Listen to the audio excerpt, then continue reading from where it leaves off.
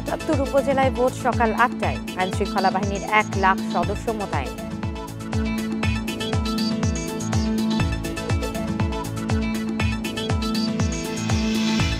আঠাশ বছর পর কাল ডাকসু নির্বাচন। লড়ছে তেরোটি প্যানেল, বহিরাগত প্রবেশে নিষেধাজ্ঞা।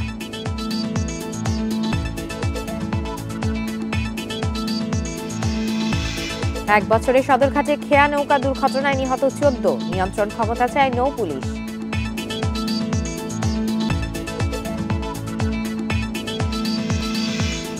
স্বাগত ইন্ডিপেন্ডেন্ট সংবাদের সাথে আছি আমি মেহেদিন তাজরিন কবির।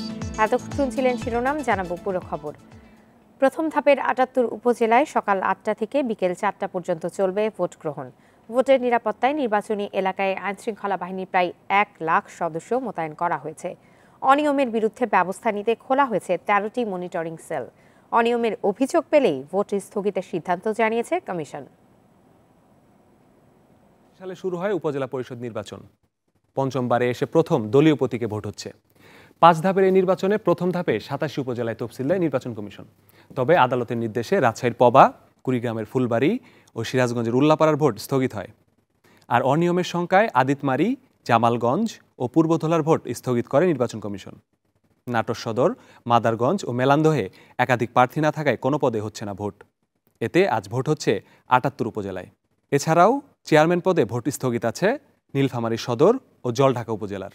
আটাত্তর উপজেলার মধ্যে এগারো উপজেলায় চেয়ারম্যান বিনা প্রতিদ্বন্দ্বিতায় নির্বাচিত হতে যাচ্ছে। উপজেলাগুলো হলো বোদা, জামালপুর সদর, সরিষাবাড়ি, নেত্রকোনা সদর, কেন্দুয়া, সিরাজগঞ্জ সদর, কাজীপুর, জয়পুরহাট সদর, পাঁচবিবি, মোহনপুর ও বাঘা। এ ধাপে চেয়ারম্যান পদে প্রার্থী দুইশো জন, ভাইস চেয়ারম্যান প্রার্থী তিনশো ছিয়াশি জন, নারী ভাইস চেয়ারম্যান প্রার্থী দুইশো উনপঞ্চাশ জন। ভোটার এক কোটি বিয়াল্লিশ লাখ আটচল্লিশ হাজারের বেশি, কেন্দ্র পাঁচ হাজার আটশো সাতচল্লিশ। ভোটের নিরাপত্তার দায়িত্ব পালন করছে আইন শৃঙ্খলা বাহিনীর প্রায় এক লাখ সদস্য। এদের মধ্যে পুলিশ, গ্রাম পুলিশ ও আনসার সদস্যরা দায়িত্ব পালন করছেন কেন্দ্রে। র্যাব ও বিজিবি মাঠে স্ট্রাইকিং ফোর্স হিসেবে কাজ করছেন। এছাড়া আচরণবিধি ভঙ্গকারীদের বিরুদ্ধে ব্যবস্থা নিতে নির্বাচনের দায়িত্ব পালন করছেন দুইশোর বেশি বিচারিক ও নির্বাহী হাকিম। এবারের ভোটে বিএনপি সহ বেশ কিছু রাজনৈতিক দল অংশগ্রহণ না করলেও প্রতিদ্বন্দ্বিতামূলক নির্বাচনের আসা কমিশনের। উপজেলা নির্বাচনের সর্বশেষ পরিস্থিতি জানাতে নীলফামারী ও সিরাজগঞ্জ থেকে যোগ দিচ্ছেন সহকর্মীরা। শুরুতেই যাচ্ছে নীলফামারী, আছেন সহকর্মী জসিম উদ্দিন। জসিম, উপজেলা নির্বাচনে নীলফামারীতে প্রার্থী ও ভোটার সংখ্যা কত এবং ভোটের আগ মুহূর্তে আইন শৃঙ্খলা পরিস্থিতি কেমন দেখছেন? হ্যাঁ আপনি যেমনটি বলেছিলেন যে নীলফামারীর ছয়টি উপজেলার মধ্যে ভোটার সংখ্যা আছে এগারো লাখেরও বেশি। উপজেলার মধ্যে ভোটার সংখ্যা আছে এগারো লাখেরও বেশি এবং প্রার্থী আছেন এখানে চৌবান্ন জনের মধ্যে দুজন চেয়ারম্যান প্রার্থী যেহেতু ভোট গ্রহণ হচ্ছে না, আপনি জানিয়েছেন যে নীলফামারী সদর এবং জলঢাকা উপজেলা আইনি জটিলতার কারণে এই দুটি এই দুটি উপজেলায় চেয়ারম্যান পদে ভোট গ্রহণ হচ্ছে না। আর এদিকে আইন শৃঙ্খলা পরিস্থিতি যেমনটি বলেছিলেন যে আমি সংশ্লিষ্ট রিটার্নিং কর্মকর্তার সাথে আমি কথা বলেছি যে আসলে আইন শৃঙ্খলা পরিস্থিতি এখানে খুব সে অবস্থায় রয়েছে যে প্রতিটি কেন্দ্রে বারো জন আনসার সদস্য রয়েছেন এবং যেটি সাধারণ কেন্দ্র, সেখানে পুলিশ সদস্য একজন এবং যেটা গুরুত্বপূর্ণ, যেটাকে আমরা ঝুঁকিপূর্ণ বলে থাকি, সেটাতে আছে দুইজন করে সদস্য। এছাড়া একশো পঞ্চাশ জন র্যাব সদস্য টহল টহলে রয়েছেন। আছে তেরো প্লাটিন বিজেপি। যেখানে সার্বক্ষণিক এই ছয়টি উপজেলায় তারা নজরদারি রাখছেন। আমরা আর এক, আর ঘণ্টাখানিকের পরেই আমরা গ্রহণ শুরু হবে। ইতিমধ্যে প্রতিটি কেন্দ্র ভোট গ্রহণের জন্য যে প্রস্তুতি সম্পূর্ণ রয়েছে এবং ভোটাররাও আমরা দেখেছি যে রাস্তায় তারাও এই ভোট কেন্দ্রে আসা শুরু করেছে। এ ছিল আমার কাছে নীলফামারী থেকে সর্বশেষ এখন পর্যন্ত জেলায় তো কোনো অপ্রীতিকর ঘটনা দেখা যায়নি। বা এরকম কোনো সম্ভাবনা কি রয়েছে?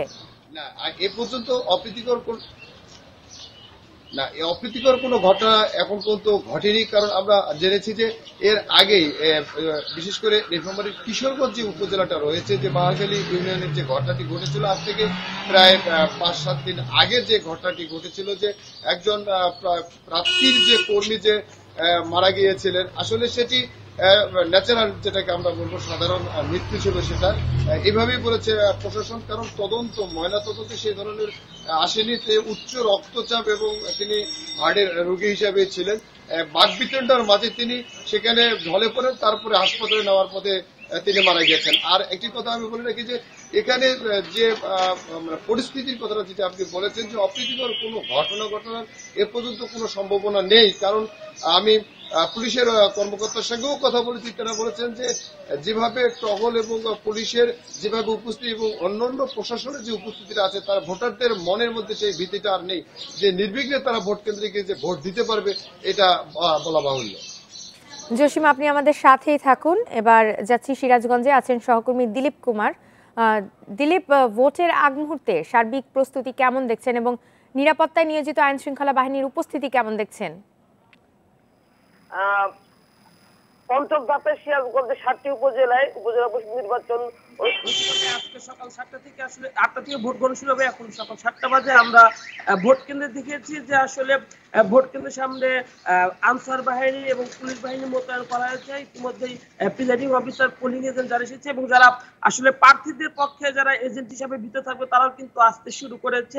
তবে সিরাজগঞ্জে যে সাত উপজেলার নির্বাচন হবে, তার মধ্যে সিরাজগঞ্জ সদর উপজেলা ইতিমধ্যেই চেয়ারম্যান পদে যিনি প্রার্থী, তিনি বিনা প্রতিদ্বন্দ্বিতায় নির্বাচিত হওয়ার কারণে আসলে কিন্তু সদর উপজেলা শুধুমাত্র ভাইস চেয়ারম্যান পদে নির্বাচিত, নির্বাচন অনুষ্ঠিত হবে। এখানে মহিলা ভাইস চেয়ারম্যান পুরুষ ভাইস চেয়ারম্যান চারজন প্রার্থী প্রতিদ্বন্দ্বিতা করছেন। তো জেলা কিন্তু যে সাতটিতে হবে, তার মধ্যে দুইটিতে শুধু ভাইস চেয়ারম্যান পদে নির্বাচন হবে, একটি উপজেলা শুধু চেয়ারম্যান পদে নির্বাচন হবে এবং চারটি উপজেলা উভয় পদে নির্বাচন হবে। আইন শৃঙ্খলা রক্ষার্থে ভোট কেন্দ্রগুলোতে পুলিশ মোতায়েনের পাশাপাশি কিন্তু টহলরত পুলিশ আছে বিজিবি রয়েছে আমি জেলা পুলিশ সুপার সাথে কথা বলছিলাম, তিনি জানিয়েছেন যে আইন শৃঙ্খলা রক্ষায় নির্বাচনী আইন শৃঙ্খলা রক্ষায় সকল প্রকার প্রস্তুতি পুলিশ সুপারের রয়েছে এবং ভোট কেন্দ্রের যে প্রস্তুতি আসলে প্রশাসনের পক্ষ থেকে, নির্বাচন কমিশনের পক্ষ থেকে ইতিমধ্যে সেই ভোট কেন্দ্রগুলো তৈরি করা হয়েছে এবং জেলায় সাতটি উপজেলায় ছয় চুয়াল্লিশটি ভোট কেন্দ্রে কিন্তু আজকে প্রায় সতেরো লক্ষ ভোটার তাদের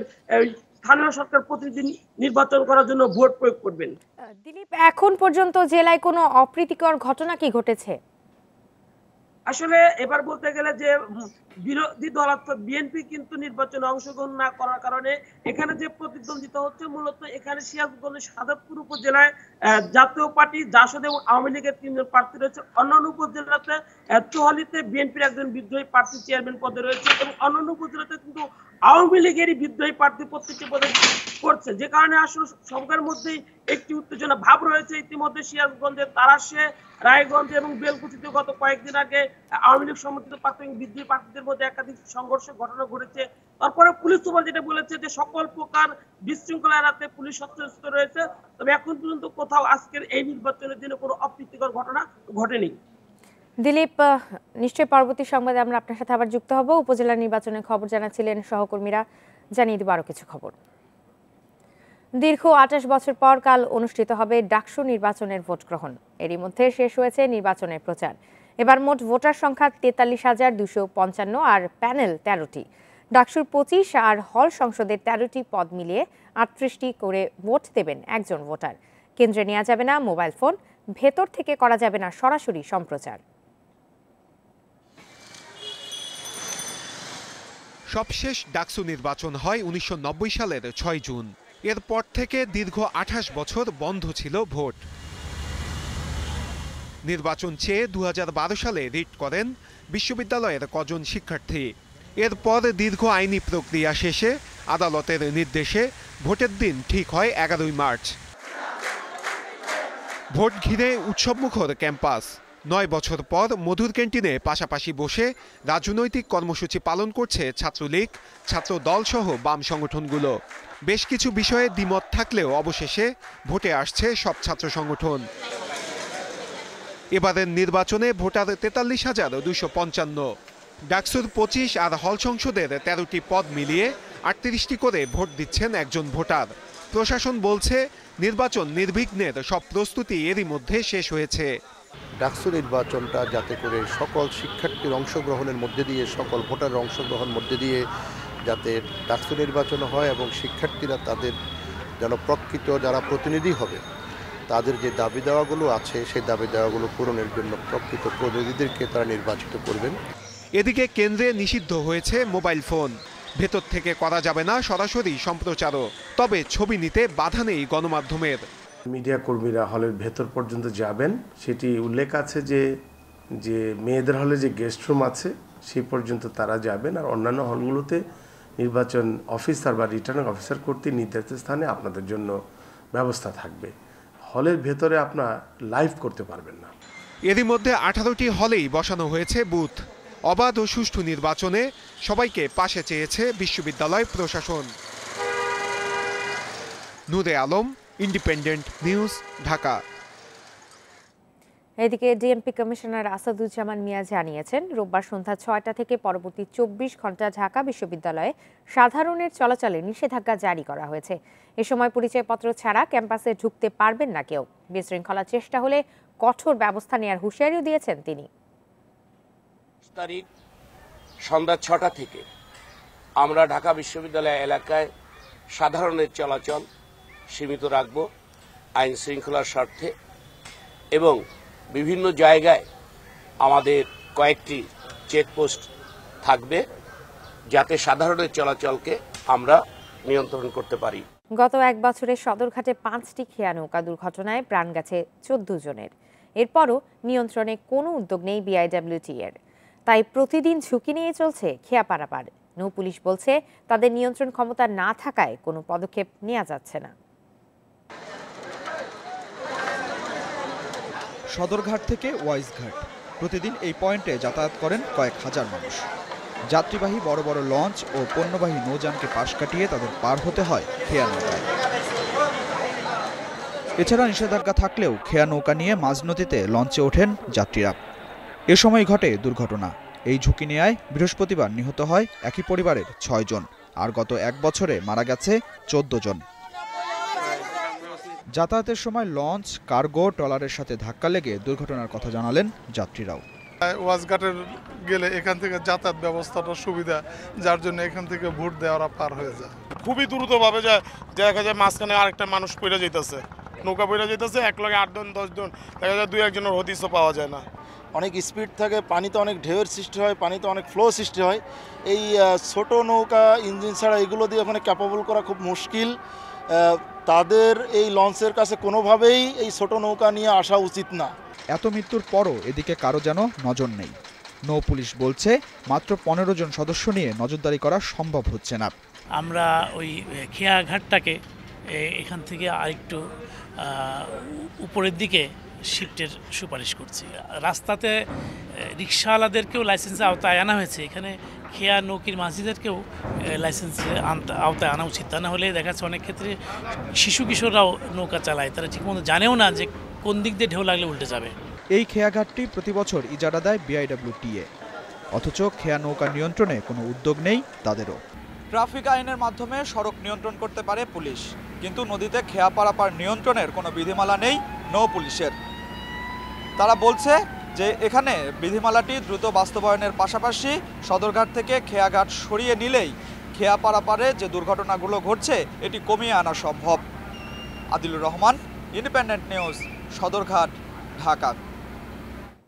Primary স্কুলের অনিয়ম খুঁজতে শনিবার ঢাকায় অভিযান চালান প্রতিমন্ত্রী জাকির হোসেন। তিনটি সরকারি স্কুলে গিয়ে দুই শিক্ষককে বরখাস্ত করেন তিনি। দীর্ঘদিন অনুপস্থিত থাকার পরও ব্যবস্থা না নিয়ে এক শিক্ষা অফিসারকে দিয়েছেন কারণ দর্শানোর নোটিশ। ঢাকার সরকারি প্রাইমারি স্কুলগুলোর মান নিয়ে প্রশ্ন অনেক দিনের। এছাড়া শিক্ষকের বিরুদ্ধে অনিয়মের অভিযোগও পুরনো। এসব খুঁজতে ভাসানটেক, ইব্রাহিমপুর ও নাখালপাড়ার সরকারি প্রাথমিক বিদ্যালয়ে অভিযান চালান প্রাথমিক ও গণশিক্ষা প্রতিমন্ত্রী। তিনি প্রমাণ পান, ইব্রাহিমপুরের স্কুলে দুই মাসেরও বেশি সময় ধরে অনুপস্থিত শিক্ষিকা আফরোজা পারভিন। তাকে বরখাস্ত করার নির্দেশ দেন প্রতিমন্ত্রী। ছুটি বলতে উনি বরাবরই অনেক আগে থেকেই ডিজি অফিসের যে প্রোগ্রামগুলো, শিক্ষা সপ্তাহ, আপনার যেমন বই বিতরণ অনুষ্ঠান মানে বিভিন্ন দিবসগুলোতে উপস্থাপনার কাজ এগুলোতে উনি করে থাকেন। সেখান থেকে প্রতিমন্ত্রী যান নাখালপাড়া প্রাইমারি স্কুলে। দেখতে পান এক প্রাথমিক শিক্ষা অফিসারের স্ত্রী শিক্ষিকা রীতারানী দাস তিন বছর ধরে স্কুলে আসছেন না। অভিযোগ পাওয়া যায় স্বামীর ক্ষমতার সুযোগ নিচ্ছেন তিনি। নাখালপাড়া আসে আরেক অভিনব ঘটনা লক্ষ্য করলাম। সেটা হলো ক্ষমতার কীভাবে অপব্যবহার হয়। কোনোদিনই সেই স্কুলে আসে না। আমি তার খাতাপত্র চেক করে আমি অলরেডি তাকে ব্যবস্থা নেওয়ার জন্য বলছি। ইতিমধ্যে ওরা নাকি নতুনভাবে এটা জানার পরে হয়তো যে নতুনভাবে কিছু করা ব্যাড ডেটে কিছু করার চেষ্টা করতেছে। দায়িত্ব নেওয়ার পর এরকম দুবার ঝটিকা অভিযান চালালেন প্রতিমন্ত্রী। বললেন প্রাথমিক শিক্ষার মান ও শৃঙ্খলা ফেরাতেই এই পদক্ষেপ। সবাই মিলে একসাথে মিলেমিশে কাজ করতে বন ইবনে কামাল ইন্ডিপেন্ডেন্ট নিউজ ঢাকা। চলতি বছরে রাজধানীর পূর্বাচল উপশহর বাস উপযোগী হবে বলে জানিয়েছেন গণপূর্তমন্ত্রী সৌম্য রেজাউল করিম। সময়মতো প্রকল্পের কাজ শেষ না হয় রাজুকের উপর অসন্তুষ্টও তিনি। শনিবার সকালে প্রকল্প পরিদর্শনে গিয়ে মন্ত্রী বলেন, যাদের গাফিলতিতে প্রকল্প আটকে আছে, তাদের বিরুদ্ধে ব্যবস্থা নেওয়া হবে। ছয় হাজার দুশো সাতাইশ একর জমি নিয়ে উনিশশো পঁচানব্বই সালে পূর্বাচল প্রকল্পের কাজ শুরু করে রাজু। এটি শেষ করার কথা ছিল দু হাজার দশ সালে। তিরিশটি সেক্টরে বিভিন্ন আকারে বরাদ্দ দেওয়া হয়েছে পঁচিশ হাজার ষোলোটি প্লট। এখন পর্যন্ত প্রায় পনেরো হাজার প্লট গ্রাহককে বুঝিয়ে দেওয়া হয়েছে। কাজ শেষ হয়েছে ষাট ভাগের হস্তান্তরের অপেক্ষায় আরও দশ হাজার প্লট। প্রকল্পের কাজ দেখতে গেলেন গৃহায়ণ ও গণপূর্ত মন্ত্রী। শুরুতেই সেনাবাহিনীর একশো ফুট খাল খনন প্রকল্পের কাজের অগ্রগতি তদারকি করেন মন্ত্রী। এ সময় তিনি জানান, নভেম্বরের মধ্যে শেষ হবে খাল খননের কাজ। বাংলাদেশ সেনাবাহিনীকে আমরা কাজ করার জন্য দায়িত্ব দিয়েছি। নভেম্বরের ভিতরে ওই প্রকল্পটা শেষ হবে। পঁয়তাল্লিশ কিলোমিটার লম্বা একটি লেক হতে যাচ্ছে। এটা বোধ হয় বাংলাদেশে অন্য কোনো প্রজেক্টে এত বড় লেক নাই। আমরা আশা করি যে এ বছরের ভিতরে আমাদের এই কাজগুলো ইনশাল্লাহ সম্পন্ন হবে। মন্ত্রী সাংবাদিকদের আরও জানান দু হাজার উনিশ সালের মধ্যে পূর্বাচলে সকল নাগরিক সুবিধা নিশ্চিত করা হবে এবং দু হাজার একুশ সালের মধ্যে প্রকল্পের পুরো কাজ শেষ হবে। আমরা দুই হাজার উনিশের ভিতরে নাগরিক সেবা দিয়ে সকল বরাদ্দ প্রাপকরা বসবাস করতে পারবেন সেটা আমরা ইনশাল্লাহ নিশ্চিত করব। সময় বাড়ানোর কারণে এই প্রকল্পের ব্যয় বাড়িয়ে দাঁড়িয়েছে সাত হাজার সাতশো কোটি টাকা। এই বাজেট আর বাড়ানো হবে না বলে সাফ জানিয়েছেন গণপূর্ত মন্ত্রী। প্রজেক্টের ব্যয় বাড়ানো এটা কোনোভাবেই আমরা করব না এটা সরকারি সিদ্ধান্ত। Hasif Mahmud Shah Independent News Dhaka. হাতে গোনা চার পাঁচজন ব্যবসায়ীর হাতে চালের বাজার। সেজন্যই মাঝে মধ্যে অস্থিরতা তৈরি হয় বলে মনে করেন বাণিজ্যমন্ত্রী টিপু মুন্সি। শনিবার সকালে সিডাপ মিলনায়তনে এক সেমিনারে বাজার নিয়ন্ত্রণে চালসহ সব ধরনের ব্যবসায় প্রতিযোগিতা বাড়ানোর তাগিদ দেন তিনি। ব্যবসা বাণিজ্যে সুষ্ঠু পরিবেশ নিশ্চিত করা সহ বাজার নিয়ন্ত্রণে নির্ধারিত সরকারি সংস্থা বাংলাদেশ প্রতিযোগিতা কমিশন। দুই হাজার ষোলো সালে কাজ শুরু করলেও এখনও কাঙ্ক্ষিত সফলতা অর্জন করতে পারেনি। টেকসই উন্নয়নে কমিশন কীভাবে ভূমিকা রাখতে পারে সেজন্য আয়োজন করা হয় এই সেমিনার। এতে বক্তারা বলেন, ব্যবসায়িক খাতে প্রতিযোগিতার সৃষ্টি না হলে জনসাধারণ সুফল পাবে না। বাজারে একক নিয়ন্ত্রণ থাকলে তা অর্থনৈতিক উন্নয়নের জন্য ক্ষতিকর।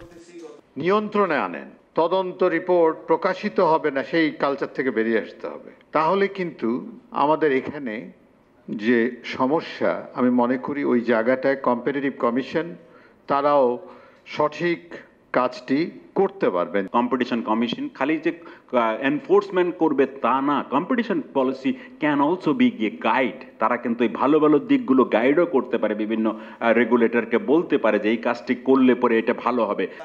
দেশের আর্থসামাজিক উন্নয়ন হলেও বাজার নিয়ন্ত্রণে আরও কাজ করার আছে বলে মনে করছেন বাণিজ্যমন্ত্রী। টেকসই উন্নয়নে প্রতিযোগিতা সৃষ্টি করতে হবে সব ক্ষেত্রেই। ব্যবসায়ীরা যোগসাযোগের মাধ্যমে পণ্যের মূল্য ইচ্ছামতো বাড়িয়ে দিতে না পারে সেজন্য সতর্ক থাকতে হবে কমিশনকে।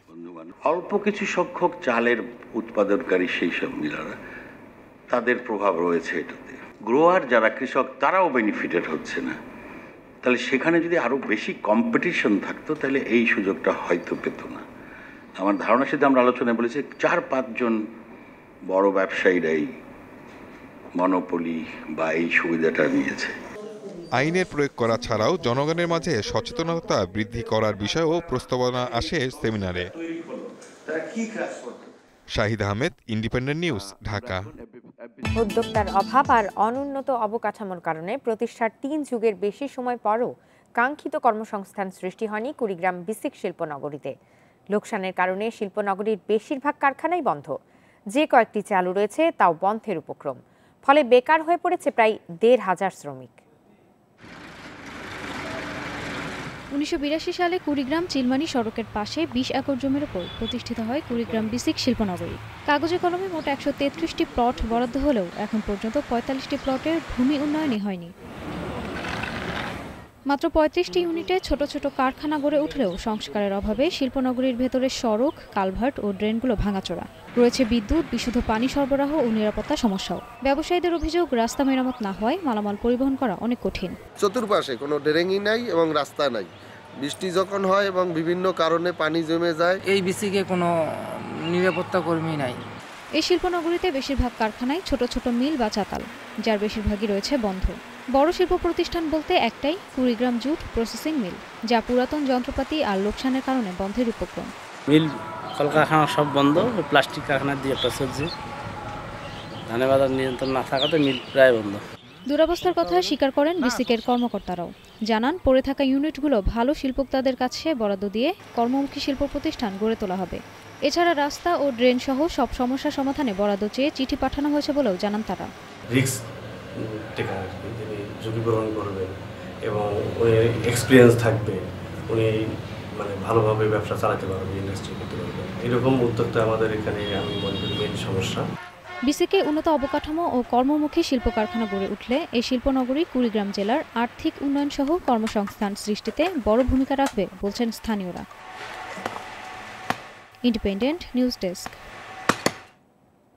লক্ষ্মীপুরের সড়ক মহাসড়কে চাঁদাবাজির দৌরাত্মে নাকাল সিএনজি অটোরিকশা চালক ও মালিকরা। তাদের অভিযোগ চাঁদা দিতে রাজি না হলে করা হয় নির্যাতন হয়রানি। চাঁদাবাজি বন্ধের দাবিতে প্রতিবাদ সমাবেশও করেছেন তারা।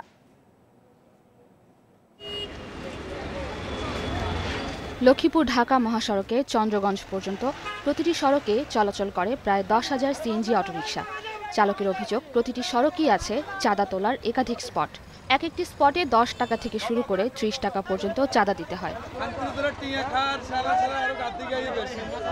বিভিন্ন ধরনের স্লিপে চাঁদা তোলা হয় বলে জানান চালকেরা। চাঁদা দিতে না চাইলে কিংবা দেরি হলেই অটোরিকশা আটকে মারধরের অভিযোগ অনেকের। চাঁদাবাজি চক্রের পেছনে প্রভাবশালী মহল জড়িত বলে দাবি তাদের। মেন রোড থেকে নিচে যত শাখা রোড আছে, নামলে প্রত্যেকটা স্ট্যান্ড স্ট্যান্ড আমাদের থেকে টাকা নিতেছে। এরপরে প্রতি মাসে তিনশো টাকা করি কোনো জায়গায় তিনশো টাকা মালতি নেয় কোনো জায়গায় দুইশো টাকা মালতি নেয় সাবিলে যে সাবি নিয়ে গাড়ি সাইড করে তুই নেতারে ফোন দেয় নেতারে ফোন দিলে হয় নেতা কয় গাড়ি অমুক জায়গায় লই আর নতুবা পুলিশের হাওলা করে দিতে এবার পুলিশের হাওলা করে দিলে গাড়িটা ছুটে আরও দুই তিন হাজার টাকা লাগে।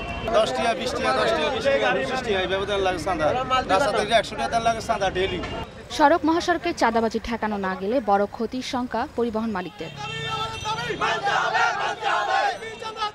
পরিবহন খাতে চাঁদাবাজি প্রতিরোধে কাজ চলছে বলে জানালেন জেলা পুলিশ সুপার।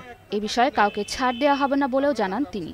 অবৈধভাবে অন্যায়ভাবে তাদের সাথে কাছে যদি কেউ চাঁদা দাবি করে সাথে সাথে সংশ্লিষ্ট পুলিশকে জানানোর জন্য অনুরোধ করা হচ্ছে অথবা সরাসরি আমাকে ফোন দিয়ে জানানোর জন্য আমি আপনাদের মাধ্যমে তাদেরকে অনুরোধ করছি।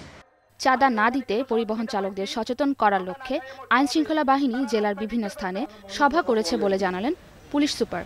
যারা ড্রাইভার আছেন তারা মনের কথা মনে রেখে চলে যাচ্ছেন। ইন্ডিপেন্ডেন্ট নিউজ ডেস্ক রাঙামাটিতে একের পর এক গড়ে উঠছে বহুতল ভবন বাড়ছে অপরিকল্পিত নগরায়ন। এতে একদিকে যেমন ক্ষতিগ্রস্ত হচ্ছে প্রাকৃতিক সৌন্দর্য তেমনি বাড়ছে পাহাড় ধসের ঝুঁকি। এ ব্যাপারে সংশ্লিষ্ট কর্তৃপক্ষগুলো উদাসীন বলে অভিযোগ স্থানীয়দের। প্রাকৃতিক সৌন্দর্যের লীলাভূমি রাঙামাটি দিনে দিনে হারাতে বসেছে এর গৌরব। আইন অমান্য করে যেখানে সেখানে গড়ে উঠছে বহুতল ভবন, ফলে সবুজ প্রকৃতির স্বাভাবিক রূপ পাল্টে তৈরি হচ্ছে কংক্রিটের জঞ্জাল। জেলার অন্যান্য জায়গার চেয়ে এই প্রবণতা বেশি রাঙামাটি পৌর এলাকায়। কর্তৃপক্ষ বলছে, ভবন নির্মাণের আগে পৌরসভার অনুমতি নেওয়ার কথা থাকলেও বেশিরভাগ ক্ষেত্রেই তা মানা হচ্ছে না। আমাদের রাঙ্গামাটির পুরো প্রাকৃতিক যে সৌন্দর্য সেটাকে নষ্ট করে ফেলছে এই ভবনগুলো। এখনও পর্যন্ত অনেক সরকারি প্রতিষ্ঠান অনুমোদন নেয় না আমাদের কাছ থেকে। তো সেটা আমরা বারবার বলছি, এই ভবন যেভাবে গড়ে উঠছে, অন্তত নিয়মটা মানলে পরবর্তীতে কোনো ধরনের অ্যাক্সিডেন্ট হলে সেই দায় দায়িত্ব তাদেরকে নিতে হবে। প্রকৌশলীরা বলছেন, শুধু প্রাকৃতিক পরিবেশের ক্ষতিই নয়, অপরিকল্পিতভাবে নির্মিত এসব ভবনের কারণে বাড়ছে দুর্ঘটনার ঝুঁকিও। পাহাড়ের ভৌগোলিক অবস্থান ও মাটির ভিত্তি দুর্বল হওয়ায় যথাযথ পরীক্ষা নিরীক্ষা ছাড়া বহুতল ভবন নির্মাণ ঝুঁকিপূর্ণ বলে মত তাদের। সমতলের ক্ষেত্রে মাটির আমরা যে খুব বৈশিষ্ট্য দেখি, পাহাড়ের ক্ষেত্রে আমরা দেখতে পাচ্ছি এটা একটু ভিতর কারণ এখানে আপনারা দেখেছেন যে গত গত দু বছর এখানে ভূমিদস্যুর মতো ঘটনা ঘটেছে। সবচেয়ে বেশি সংকট তৈরি করছে হ্রদের পাড়ের ভবনগুলো। অবশ্য হ্রদের পরিবেশ ঠিক রাখতে কঠোর নজরদারির গদবাধা আশ্বাস দিচ্ছে জেলা প্রশাসন। হ্রদের সৌন্দর্য যাতে ব্যাহত না হয় এবং কাপ্তাই হ্রদের সৌন্দর্য দেখার প্রতিবন্ধকতার সৃষ্টি করে, এ ধরনের কোনো বাড়ি যাতে না উঠতে পারে, এটা আমরা আলোচনা হয়েছে এবং এটা নিয়ে আমরা কাজ করছি। রাঙামাটি শহরে বহুতল ভবনের সংখ্যা কত সে বিষয়ে সংশ্লিষ্ট কোনো দপ্তরে সুনির্দিষ্ট তথ্য পাওয়া যায়নি। ইন্ডিপেন্ডেন্ট নিউজ ডেস্ক সংস্কার ও সংরক্ষণের অভাবে নওগাঁর ঐতিহাসিক দুবলহাটি রাজবাড়ি বিলুপ্তির পথে। কর্তৃপক্ষের উদাসীনতায় দুইশো বছরের পুরনো রাজবাড়িটি যে কোনো সময় ভেঙে পড়ার আশঙ্কা করা হচ্ছে। ঝুঁকিপূর্ণ সত্ত্বেও অনেকে আসছেন ঐতিহাসিক এই স্থাপনাটি দেখতে। নওগাঁর প্রাচীন ইতিহাসের সাক্ষী দুবলহাটি রাজবাড়ি। আঠারোশো তিপ্পান্ন সালে রাজা হরনাথ রায় এখানে রাজত্বভার গ্রহণ করেন। উনিশশো পঞ্চাশ সালে জমিদারি প্রথা বিলুপ্তির পর রাজা ভারতে চলে গেলে রাজবাড়িকে সরকারি সম্পদ হিসাবে অধিগ্রহণ করে প্রত্নতত্ত্ব বিভাগ। এখন পর্যন্ত রাজবাড়িটির সুরক্ষা বা সংস্কারের কোনো উদ্যোগ নেয়নি তারা। রাজবাড়ির রয়েছে সাতটি আঙিনা এবং তিনশোটি ঘর। সামনে রয়েছে বিশাল গোবিন্দ পুকুর সংস্কার ও সংরক্ষণের অভাবে বাড়িটি এখন বিলীনের পথে। এখানে আসার পর প্রথম তো মেয়েরা এখানে ঢোকার সাহস পাচ্ছিলাম না। এ কারণে যে এখানে ঢোকার পর আমাদের সামাজিক নিরাপত্তার অভাব আছে। পরিবেশটা খুব নোংরা এবং এটাকে মানে যত মানে তাড়াতাড়ি সম্ভব সরকারকে হচ্ছে তাড়াতাড়ি সংরক্ষণের ব্যবস্থা করা উচিত। রাজবাড়ি আগে খুব ভালো ছিল অনেক দূর দূর লোক আসে বেড়াতে। এবং এখন মেরামত করলে আরও ভালো হবে লোকজন আসবে। শিগগিরই রাজবাড়িটির সংস্কারে প্রয়োজনীয় উদ্যোগের কথা জানালেন জেলা প্রশাসক। ঐতিহ্য সংরক্ষণের অংশ হিসাবে এটা অবশ্যই প্রত্নতত্ত্ব অধিদপ্তরের আওতাভুক্ত হওয়া উচিত এবং সেই লক্ষ্যেই আমরা এটা ঊর্ধ্বতন কর্তৃপক্ষের সাথে যোগাযোগ করি। ঐতিহাসিক এই স্থাপনার সংস্কার হলে নওগাঁয় পর্যটক আরও বাড়বে বলে মত সংশ্লিষ্টদের। Independent News desk. মুকুলে ভরে গেছে মেহেরপুরের লিচু বাগানগুলো। এখন মুকুল ধরে রাখতে প্রয়োজনীয় সার ও সেচ দিয়ে বাগান পরিচর্যায় ব্যস্ত চাষিরা। আবহাওয়া অনুকূল থাকলে চলতি মৌসুমে লিচুর ব্যাপক ফলনের আশা চাষি ও কৃষি বিভাগের ফাল্গুনের শুরু থেকে লিচু বাগানগুলোতে এসেছে নতুন পাতা ও মুকুল। অন্যান্য বারের চেয়ে শীতের তীব্রতা ও কুয়াশা কম হওয়ায় এবার আগে মুকুল এসেছে লিচু গাছে। এখন মুকুল ও গুটি ঝরা রোধে গাছের বাড়তি পরিচর্যায় ব্যস্ত চাষিরা। বাগানে নিয়মিত দেওয়া হচ্ছে সেচ, সার ও কীটনাশক। চাষিরা জানান, আম কাঁঠালের চেয়ে লিচু চাষ লাভজনক হওয়ায় প্রতি বছরই বাড়ছে বাগানের সংখ্যা। এবার বোম্বাই, মুজাফফরি ও চায়না থ্রি জাতের লিচু আবাদ করেছেন তারা। গাছে ফল আসার পরই ব্যবসায়ীদের কাছে এক বিঘার একটি বাগান বিক্রি হবে কমপক্ষে এক লাখ টাকায়। আবহাওয়া ভালো থাকলে ব্যাপক ফলনের আশা চাষিদের। গাছে মুকুল এসছে এবছরে ভালো। তারপরে মুকুল ঠেকানোর জন্য যদি রোদের তাপমাত্রা বেশি হয় তাহলে গুঁড়ায় পানি দিতে হবে। প্রত্যেকটা গাছে এবার প্রচুর পরিমাণ ময়ল এসেছে। যদি আপনার ঝড় ঝপটা না হয় তাহলে প্রচুর ফলন হবে। মেহেরপুরে প্রায় পাঁচশো সাতাশি হেক্টর জমির বাগানে এবার তিন হাজার একশো চুয়াল্লিশ মেট্রিক টন লিচু আশা করছেন চাষিরা। উৎপাদনের এই লক্ষ্যমাত্রা ঠিক রাখতে কৃষকদের বিভিন্ন পরামর্শ দিচ্ছে কৃষি বিভাগ। আমাদের যেটা মাইট রোগ লাগে, সেই মাইট যদি থাকে আমরা মাইটিসাইড ব্যবহার করতে বলেছি এবং লিচু যখন পরিপক্ক অবস্থায় আসবে, তার আমরা দশ পনেরো দিন আগে আমরা একটা কীটনাশক স্প্রে করে দিলে লিচুর মধ্যে যে পোকাটা আছে, সেই লিচু বোরার যেটাকে বলে, ফ্রুট বোরার, সেই পোকাটা আসবে না। মেহেরপুরে উৎপাদিত লিচু স্থানীয় চাহিদা মিটিয়ে পাঠানো হয় দেশের বিভিন্ন অঞ্চলের বাজারে। Independent News desk. আটাত্তর উপজেলায় ভোট সকাল আটটায়। আইন শৃঙ্খলা বাহিনীর এক লাখ সদস্য মোতায়েন।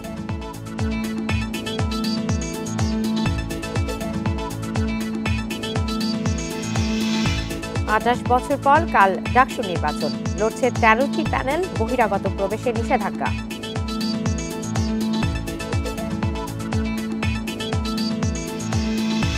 এক বছরে সদরঘাটে খেয়া নৌকা দুর্ঘটনায় নিহত চোদ্দ। নিয়ন্ত্রণ ক্ষমতা চায় নৌ পুলিশ।